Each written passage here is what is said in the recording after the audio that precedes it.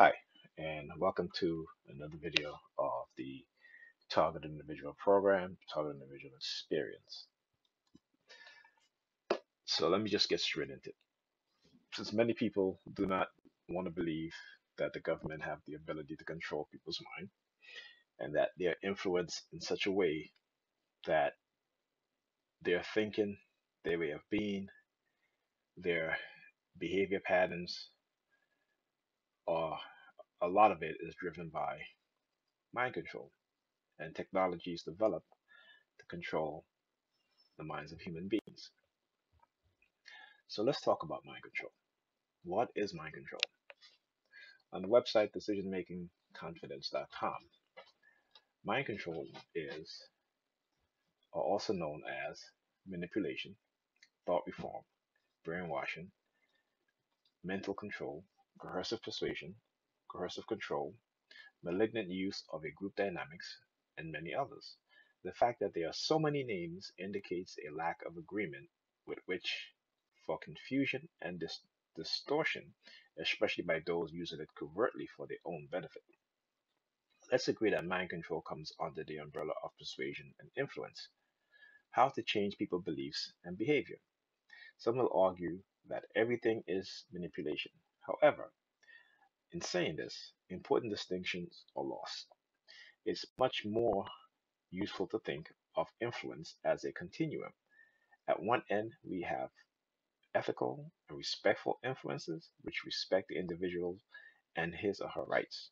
On the other end, we have destructive influences which strip the person of their identity, independence, and ability to think critically or logically. It is at this end that we find destructive cults and sects. These groups use deception and mind control tactics to take advantage of the weaknesses as well as the strength of the members or satisfy the needs and desire of the cult leader themselves. A one on one cult is an intimate relationship where one person abuses their power to manipulate and exploit the other. Example teacher student, therapist client, pastor worshiper, husband wife. This cultic relationship is a version of the larger group and may even and may be even more destructive because all the time and attention is directed towards only one person. Now, as TI's um, uh, target individual person, this is what happened, except that a lot of the energy or a lot of the time and attention is uh, focused on you know a group of people. And again we're living in a broader society a broader country a broader world. So thousands and thousands of people can be uh, manipulated all right and can be targeted in such a way that the person feel that they are the only one that's going through this okay so, what is mind control? It's best to think of it as a system of influences that significantly disrupt an individual at their very core, at the level of their identity, their values, beliefs, preferences, decisions, behaviors, relationships, etc., creating a new pseudo identity, uh, pseudo personality. It can, of course, be used in beneficial ways, for example, with addicts. But here we are talking about situation that are inherently bad or unethical. The psychologist Philip Zimbardo said that says that mind control is a process by which individuals or collective freedom of choice and action is compromised by agents or agencies that modify or disrupt perception, motivation, effects, cognition, and or behavioral outcome. And he suggests that everyone is susceptible to such manipulation. It is not some ancient mystery known to a selected few. It is a combination of words and group pressures packaged in such a way that it allows a manipulator to create dependency in his or her followers, making their decisions for them while allowing them to think that they are independent and free to decide. The person being mind controlled is not aware of the influence process nor of the changes occurring within themselves. Um, as TIs, we are aware, we become aware, okay, and this, this is after they have manipulated uh, the targeted individual in such a way that they believe or they think that now we can do it overtly instead of covertly, and then try to use certain things within the targeted person pass or what they have set up the targeted individual with to try to blackmail them into silence, as well as uh, bringing them into the fold of the cult, right? Or um, giving them money or a good job to buy their silence. So we have to be aware of these things, okay, and not take these things as something that people will say and you know they want to call somebody crazy because they say, well, you know, I'm being manipulated, psychologically manipulated, right? And so again, this is part of their condition in terms of the broader society, and their belief in that when somebody talks about being mind control is that somehow they're they're crazy. Okay, so we're gonna talk about these things. All right. So I'm not going to get into the mind control versus brainwashing. You guys can read that. I already gave you the website. Besides, you can see it here, right on the video. Okay, so you guys can go and on it yourself. So let's talk about degrading themes, which is one of the weapons that they use against targeted individuals. Right?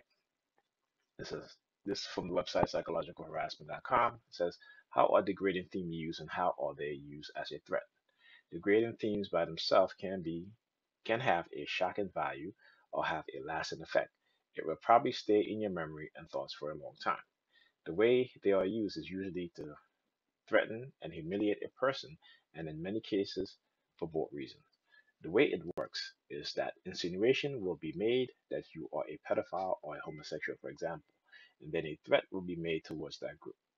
For example, all pedophiles or homosexuals should be killed. So basically, what it adds up to in your mind is uh, that you think that the people making the insinuation think you are a pedophile or a homosexual and that they want to kill you. Given the fact that homosexual is more socially acceptable, pedophilia is usually the one that is used because of the seriousness and hatred towards pedophiles. Different groups can also be used, like ethnics, religion, criminal organization, and nationalities strategies, and tactics. The way degrading themes are usually used in the workplace. 1. Shock, prep, and smokescreen. Weird comments or discussion about sexuality, for example, will occur that can also have a shock value by themselves. It also used as a prep or smokescreen for what is to come or for what follows. Two, insinuations. An insinuation that you belong to or a part of a selective group will be made. Ambiguous comments are usually used also. Ambiguities are usually used to induce doubt and uncertainty. Indirect threats. A threat will be made towards the selected group, which is an indirect threat towards you, since you have been led to believe that the person that the people making those insinuations think you are part of this group. It is a threat aimed at you. The desired result is to make you feel threatened or feared. Threats and fear preventing the victim from coming forward and exposing the perpetrators. The victim of these uh, tactics may be reluctant to come forward because the threat was made towards a selective group and not directed to them at them. They may feel the effect of the threat, but may not understand the psychological manipulation behind them. The victims may not want to come forward when the threat was made towards homosexuals, for example, and that they are unable to explain why they feel or felt threatened. The victim may also believe that they will not be believed or given the fact that the documentation about these psychological technology do not exist or cannot be found. Psychiatry may also be involved and used as a threat in the same sense of building false profiles for false accusation. Uh, this is something that they've done, and I'm going to explain this in this video also as I, uh, you know, talk about my targeting and what's been happening. Some threats to attack or destabilize a person. Personally or sensitive information can, personal or sensitive information can also be used to humiliate or threaten a person. Personal or sensitive information that is shared with a friend or others can be used to humiliate the person when the relationship ends or take a turn for the worse. People can also feel vulnerable when they believe that some of their personal or sensitive information may be shared with others. This is also part of a psychological manipulation tactics where the victim is threatened or attacked with subtle remarks to destabilize them. In psychiatry, psychiatry can be used as a threat in the sense of building false profile or to build false profiles to wrongly accuse or convict people of a crime that they did not commit. So, a couple of quest- uh, questions and then answers is what are these strangers or auditory hallucinations saying? They are saying that I'm a pedophile, part of a criminal organization, and that I experience great pleasure and joy in killing people. Question: What else are they saying? They keep repeating and saying there's no that there is a catch. Tell me about your mother. The threat of the threat of filling up a profile or creating a false profile. Okay, and uh, psychiatry can be used to cover up or hide the use of these psychological manipulation technologies and also to discredit the victim with a false diagnosis or by using the victim's confused state of mind and claims. The sensitive information that is shared with psychiatry that can also be obtained while list- with listening devices can also be used to further humiliate and threaten the victim. The usual response from psychiatry would be to claim that as more information is shared, more the more the symptoms of mental illness can increase, and that these manifestations and symptoms can uh, needs to be controlled with a high doses of medication. And this was, you know, this has happened to me because every time I try to explain uh, about my targeting, okay, uh, my psychiatrist at the time would uh, want to give me uh, more up the doses on my medication. Uh, finally, um, I had to, uh, you know, put the brakes on that, and uh, after I realized what was being done, and so, you know, just one of those things. Okay.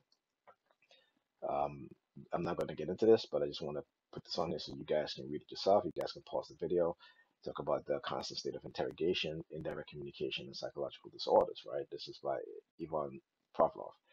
And the constant state of interrogation, unfinished uh, ambiguities, frustration, and negative condition, uh, condition sound, hidden sounds, and fear conditioning. And this is what um, has been done to me over the past couple of days with airplanes circling small airplane circling, uh, sirens. Um, you know, it started like around seven o'clock in the morning.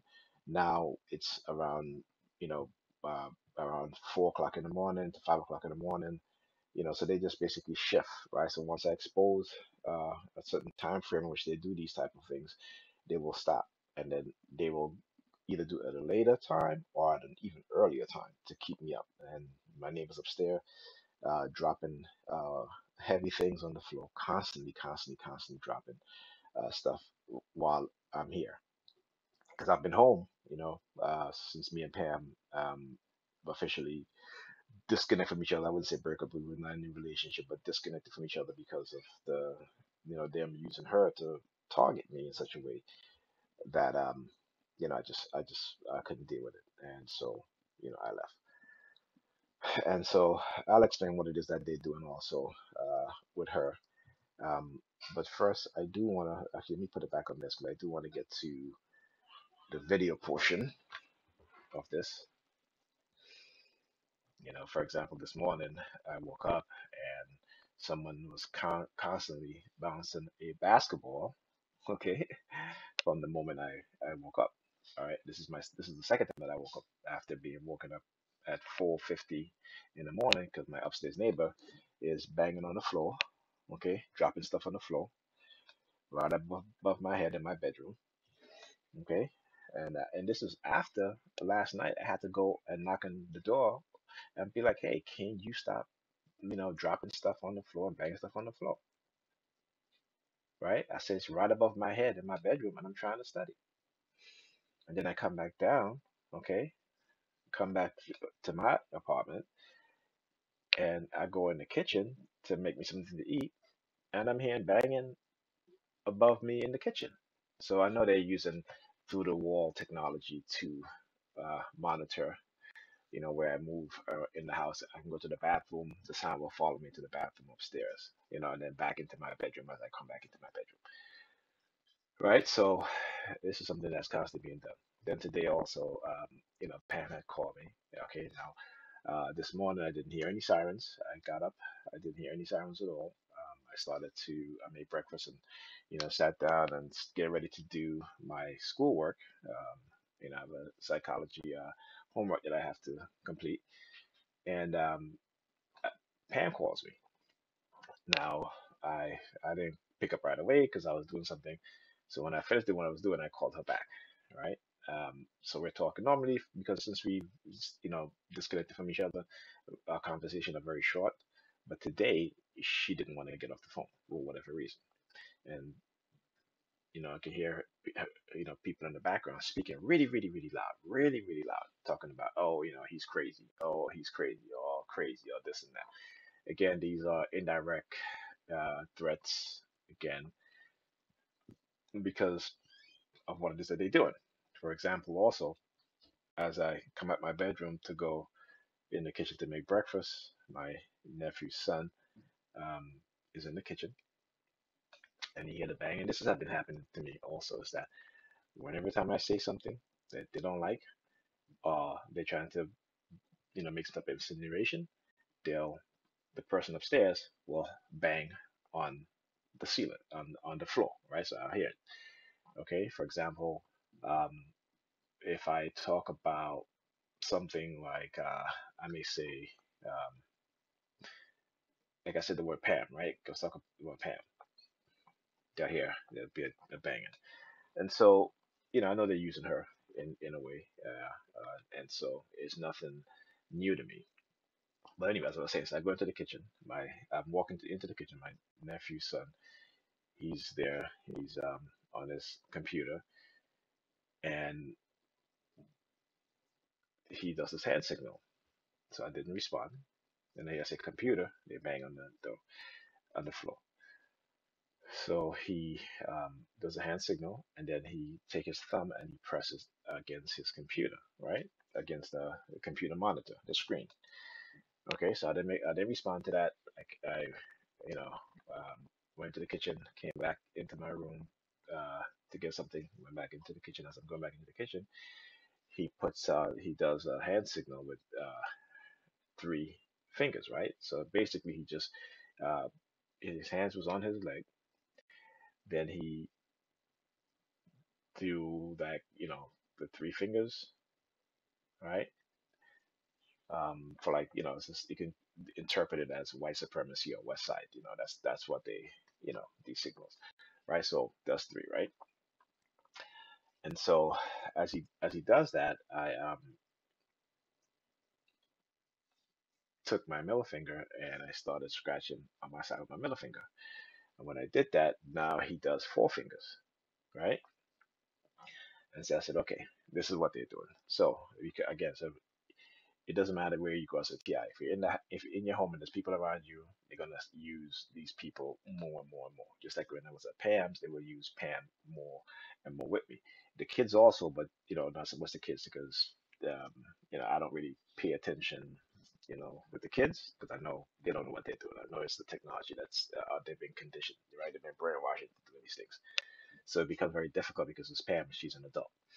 Okay, so anyway, let's go to the video. So uh, Tuesday, I had to go by Pam to set up the kids' computers and um, and tablets so that uh, they could get ready for school. And she came and she picked me up.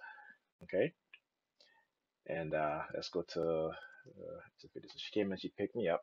So she called me and she was like, "Hey, uh, where you at?" I said, I'm leaving the house, getting ready to walk to the corner. She's like, okay, I'll be there. Um, she's like, I'm I'm on Albany. So she's like, okay, I'll, I'll, I'll be there soon. So I'm walking the block and I see this uh, Jewish woman, and she's uh, you know she's standing in front of uh, a house. This is she right here. You see her across the street. Okay, and um, so she was. Uh, the houses were after this building at the corner. So she sees me as I get walk as I'm walking to the corner, then she starts walking to the corner also. So then she starts playing with her hair. So I said, okay, well, this is what they're trying to they're using her now, you know, to target me. And so I was like, okay, well, you know what I usually do best, which is which is record. And so I come to the corner as I have to wait uh, for a ride. And so she comes standing over here at the corner too. Okay. now, let me just pause this. Now, again, as just I'll show you guys the scripted. Uh, this is all scripted. Okay. So as I said, Okay. so let's go back from the beginning. Look at the perp across the street. I come to the corner as I have to wait uh, for a ride. And so she comes standing over here at the corner too. Okay. So now you're gonna see this car pulls up, right? She's a Jewish guy inside. He looks over at her. Okay. Then you see he, he looks over, but they know I'm recording.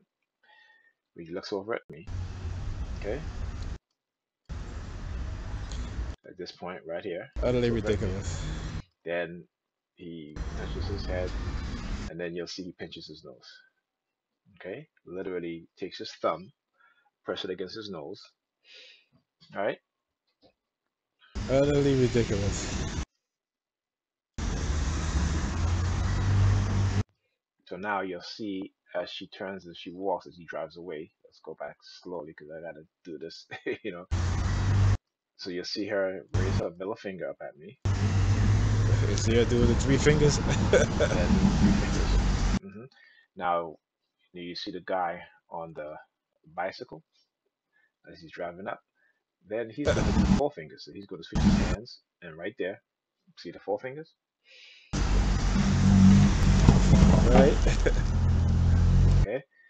Now, as this was going on, the Jewish woman across the street, she turns and she looks at in the direction of this lady coming down. Okay. All right. So let's go back slightly. So you see here, she's looking at me.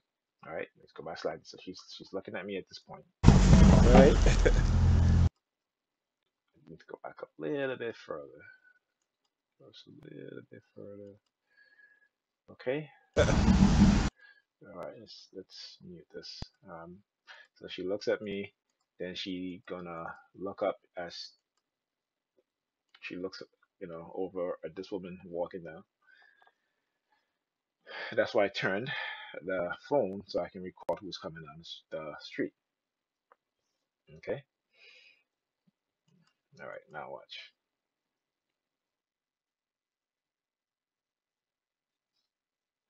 So now she walks up. She looks over at me. And she starts. She did the. She didn't. It, I didn't catch it in the frame, but she put her palm right facing towards me as she wipes her face up. You know. Right. See. Now she's gonna wipe her face. There you go. Turns. Okay. There she goes again. And she's looking at me. She's playing with her hair again. And she basically put her thumb on her lip.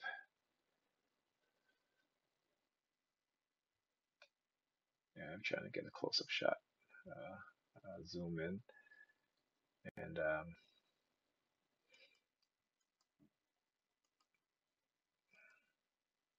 you'll see her again pacing back and forth. All right.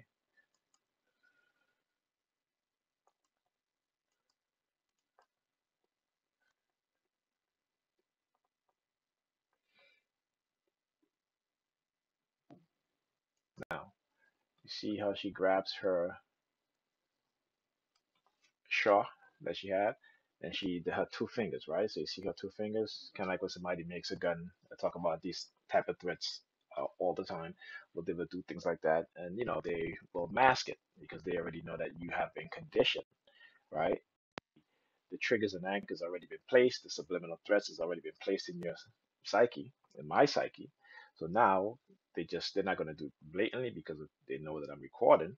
So they go they do what is called masking, masking it in such a way that it's not obvious to everybody else, but it's obvious to me. Okay.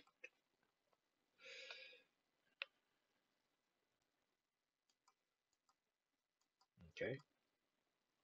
Now, you see her touch her nose with her thumb as her palm is facing towards in my direction. Right? Talk about palm fixation drill. Okay. There you go again. She sticks it out, four fingers. See that? Gotta pause it. And she had her hand up there for a couple seconds. Turns around. Four fingers going back, you know. And this is where Pam had pulled up, right? So that's what happened. So the four fingers Pam had pulled up. So basically trying to send me subliminal message about if that they're going to use Pam, you know, again to again make some false accusation to or use her in talk they've been doing. Okay, like I said, you know, um, she is the head nurse of the pulmonary department. Uh, she was working at her, um, you know, at the job for about uh, a year before she they gave her that position, and uh, which is a good thing, which is a good thing. But you have to wonder why. Okay, she just started the job there, and already she become head nurse of the of the uh, pulmonary department of that hospital at um uh what's it the hospital in in in uh Park Slope uh, uh, Presbyterian. Okay, so like I said, which is a good thing. You know, she's the mother of my kids, and I want to see her do good. You know, and um, but it just shows you how they use money and giving people positions in order to maintain their loyalty and to get them to participate in this, right? So people are chosen based on whether or not they participate in this program, whether they're going to get good jobs or whether they're going to get uh, good things in, in life is going to happen to them, right? Because again, uh, people who are outspoken against, you know, racism, police brutality, stuff like that, you are targeted. We are targeted, you know, and because we don't kiss ass, we, you know, we speak, we want to speak the truth. We want to expose what's going on, and those that are in power do not want the truth to be exposed. So they will suppress those who are trying to expose the truth while uh, glorifying and I wouldn't say glorifying, but but uh, uh, giving those that cho- choose the uh, the docile mentality or the one of uh, you know uh, ignorance, right? It would give them those type of positions because they can use them as gatekeepers to protect white supremacy. Now, let's not make no mistake about that. Okay. So anyway, let's let me get to the next video because then you guys is gonna see uh, exactly.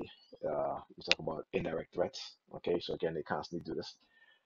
But you know, a person like me that have the presence of mind, due to many years of being in this program, due to research, due to um, studying psychology, studying psychological tactics. That's why you always see me bring up these things, right? I always talk about the psychology of what is being done because it is important that we understand that many people, particularly many TIs, are targeted individuals who do not understand this, keep will keep falling into the same traps, into the same scenarios because they are ignorant to what's going on. And because they're ignorant to what's going on, whatever um, narrative is being said about the targeted individual, you know, the community, when, when they go to the community with these things, then uh, the community will constantly and always participate in uh, surveilling, harassing, uh, you know, all sorts of things, whether it be poisoning you or what have because they have to set a negative narrative. When you know, they said that those who control the narrative, right, those who control the media, those who control, uh, you know, uh, in, in society will always control the narrative, right? And so we know that's to be true. Okay, so when they manipulate you without your knowledge, without you knowing and understanding what's being done, and you behave in a negative fashion, it is not your fault. It is a psychological, technological process that was done to you without your consent, and you have no idea because, again, you cannot identify these sort of subliminal, these sort of psychological tactics that is being used against you. And so the change of your person, changing your personality without your consent. You look at Kanye West, for example. You look at uh, um, people like Candace Owens, people like uh, uh, um, uh, what's his name? Uh, ben. Uh, anyway, uh, you know Thomas uh, Clarence, the Supreme Court Justice, Ben, um, the the you know the new the, the black doctor. I forgot his last name, but anyway, you guys can you guys know I'm talking about, right? Um, yeah, this is what they do, right? And this is what they try to do to me, try to control me. So Pam had picked me up, and you know we're we're driving, and um, she had the GPS on, but yet she's not following the GPS. She's acting all confused. You know, we get to Empire Boulevard, and you know the GPS told her to go to East New York, which is an, another block down. And again, she's been using this route for the past two weeks, so she knows. But because I'm in the car, all of a sudden now she's acting confused. Uh, just as one time we went to the beach, we were in the parking lot. We went to the parking lot. She act confused that she doesn't know how to get up the parking lot. She started driving in the wrong direction, going all over the place. And then, you know, uh, as she's driving, she's looking at certain signs, right? Signs that are put up in the parking lot with her head. So she might be turning right. She's looking left at the sign, which you know, which is meant for me to also look and read the signs because again, they're sending subliminal message, right? So um, so anyway, like I said, so she so the GPS said to go to East New York. She turns on Empire Boulevard, then she turns down on. Uh, she made the left onto Utica Avenue, which and then had to make another right onto um, Remsen, Whereas if she would have went to East New York, East New York, she would have made the right, and then it would have just lead straight into Remsen. But no, the reason why she didn't do that is because again they had this scenario all set up to be played out. So as she's coming down, I see these, uh, you know, cops standing over there. They they are stopping this vehicle, and again, this is all street theater, right? So they have to be in a position where I can see. Had she take East New York, we would have drove by, you know, straight, uh, and you know, I wouldn't see them because again, my head would be turning to the right. My head would be going to the right. Okay, so I would not be turning, but she had to come down this way because again, this is a straight, direct view of the two police officers that had stopped uh, this vehicle. Now, as we're driving, as she turns, one of the police officer puts his hands behind his head, as if you know, like what they do, how they sweep their hand behind their head, right? And it's the one that's standing in the street, right? The other one standing on the sidewalk now. As we drive by, he's looking the other direction of traffic. Then he turns, right? Uh, let's go back. Uh, let's see. Let me see if I can pause it so you guys can see. And it's very difficult to, um, because again, it was very fast. It was very, very quick because as soon as uh, she made that right onto Utica Avenue, the right was um, green. The other right was, the other light was green to her to turn and make the right onto Remsen. So it was very quick. So he turns. Um, so at this point, she I don't know if you guys might not be able to see, but his hands is up. If you look on the left side of the one standing in front of the uh, street, his you see his the dark uh, uniform here. His hands is up behind his head. Okay, and then the one that's standing on the sidewalk, he turns and then he looks at me. Right now, after we drove past um, those two officers, you know, I had stopped the video. Then Pam started doing hand signals to me. Right she started doing these hand signals and stuff like that. Uh, then um, there were people driving in cars that was, you know, closing their mouth, right? So they were doing that whole uh, folding their lip inwards, closing their mouth, and you know, again, trying to shut me up. Again, trying to tell me that they're going to use her, right, to accuse me of whatever, or what have you. And you know, again, you know, money is a powerful thing. They will always use money, and giving her that position um, you know, is enough because listen, she doesn't want to be jobless or you know, in a in a less paying job, right? Because of her financial situation. So this is how they manipulate people. They understand, they know about your financial situation. They'll come, they'll manipulate you. They'll they'll they'll uh, give you a job, give you a high paying job, what have you, and and whether you deserve it or not, doesn't matter. Okay, because to them it's about uh, you know your loyalty towards them right? Kind of what cult leaders do right? So they use various manipulative tactics. This is what the us government does and white supremacists right? So you know this is this is what was going on okay? And so it's not surprising that she would be involved. So, like I said, when she called me today and I called her back, you know, she was basically, you know, usually she's like, okay, bye, you because, you know, keep it short, right? But today she was, you know, she she took me, uh, she was on the phone, you know, um, and was like talking to me. You know, she's going over the place. She went to the fax something, went to the bathroom, and came back into the office. And I said, "Who's that in the background talking really, really loud?" And she's like, um, "You know, oh yeah, she's really, really loud." And you know, the person in the background is like, "It's a woman's voice," and like, "Oh, she, he, you know, he's crazy, and this and that. Well, that's crazy, and such and such." And I talked about this before, how they love to do this, right? I also got the audio of it, um, also, which I didn't have time to um to play uh, as I'm using my uh, headset with the mic to talk uh, on this. But you know, if I uh, get a chance, I'm going to upload it and do a short video about it. But again, this is what they're doing. And also, she's like yawning in my ears all the time, saying, "Well, I'm so tired." I'm like, "Listen, I know you're always tired, but today was like extra." And I can always tell when it's extra, right? And it's because again, she's been manipulated, right? So, you know, this is what's happening, and people, you know, don't want to believe these things. Okay, um, and you know, but these things are, are all uh, talked about, written, and I talk about how they constantly use of police, right, and certain at certain times to target me. Okay, and which is again indirect threat. All right, so condition words, uh, the identification words or trigger words, and it says is to have a, a tactic that is sometimes used on a victim that the group doing the psychological harassment will start using a word. Different actions can also be used that is not commonly used to identify themselves and to identify themselves as part of this group. So, example, the person in the background talking about he's crazy or that's crazy. So, you know, again, this is what this is what they continue to do, right? Because again, uh, when they understand and they realize that you know, the more knowledge that I get on these things is the less of effect they have on me, then they'll use the crazy term, term, right?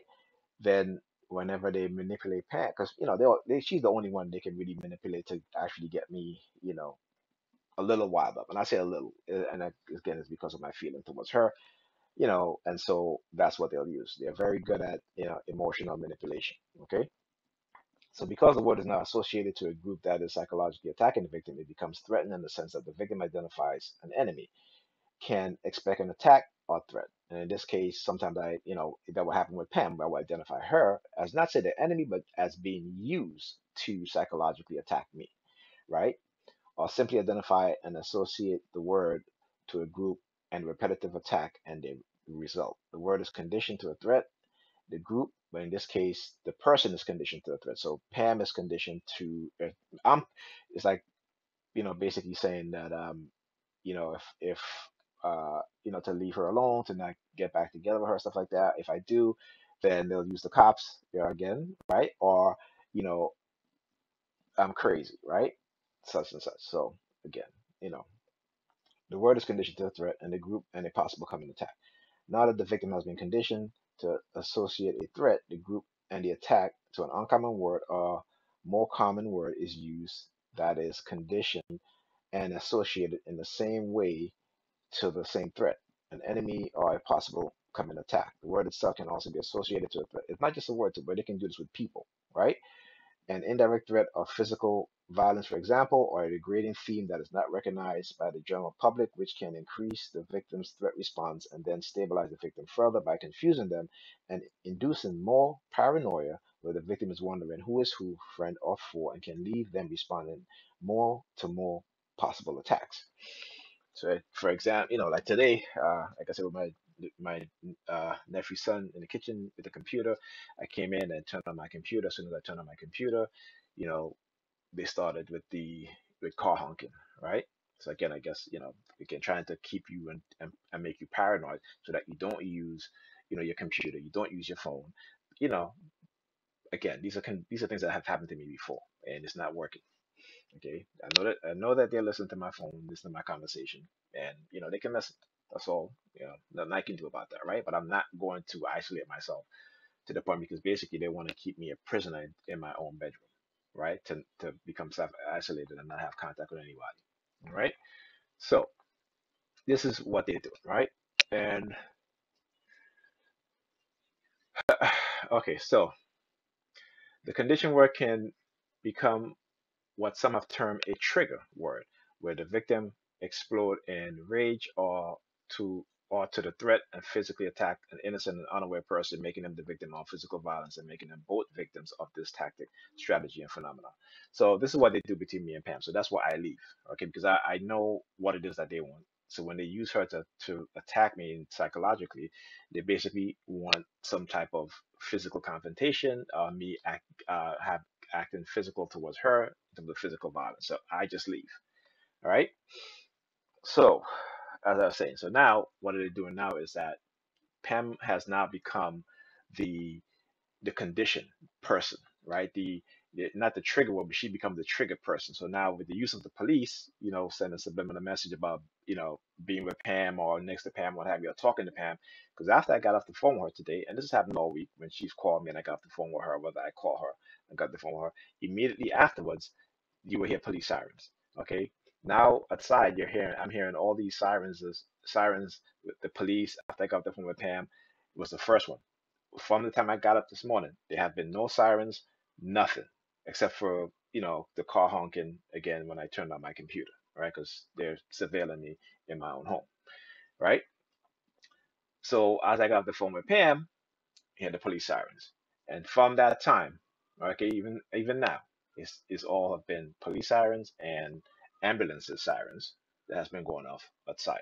So again, understanding what it is that they're doing. This is how targeted individuals or targeted victims or TI are being uh, conditioned in this coercive persuasion program, and the effects that is being done to us is detrimental. Okay, not just psychologically, but with the use of direct energy weapons, the use of weapons for mind control, such as silent sound spread spectrum, it is psychologically, it is neurologically, okay, and also with the use of other types of direct energy weapons, such as the vibrational acoustic weapon, right, which causes your body to vibrate. But physical, uh, right, injury to the individual. And so now that I'm gonna put this video up again, this is what they do. You know, they'll again go back, uh, go back to their drawing board, come up with something else, uh, or usually the same thing, but it's, it's a repetition, right? So it's either uh, the threat of homelessness, uh, the threat of the psychological threat of being labeled crazy, right? The, the threat of violence, you know, uh, the threat of, uh, of being arrested by the police, right? The threat of being institutionalized, okay? The threat of, um, you know, uh, like they'll send me subliminal messages about if I talk to women that, you know, they're going to kill me or, you know, I'll be arrested, right? So these are the, the main proponents, the main threats that I usually receive over and over again because it's repetitiveness. So whenever you see these type of repetitive things happen in, in your life or anybody else, it is because they're being conditioned. They're being uh, they are in a psychological uh, manipulation program or coercive program. Okay, and again, this is to cover up the direct energy uh, uh, experimentation as well as the illegal microchipping. Right. So illegal microchipping, microchipping uh, person using uh, to uh, for the purpose of remote neural monitoring. Okay, so I'm going to end the video at this point. Um, I don't want to make it too long. I got to get back to doing my um, homework, and my studies, and uh, like I said, I need to take some of the focus off of them now because I really need to get catch up on my schoolwork. Because again, the noise campaign, constantly being awake in the middle of the night, uh, you know, the upstairs neighbor banging on the floor, you know, like I said this morning, someone uh, on the side uh, constantly um, uh, bouncing the basketball, right, over and over again. okay, um, it's just kind of ridiculous, you know. But um, this is this is what they do. Okay, so I'll see you guys on the next video.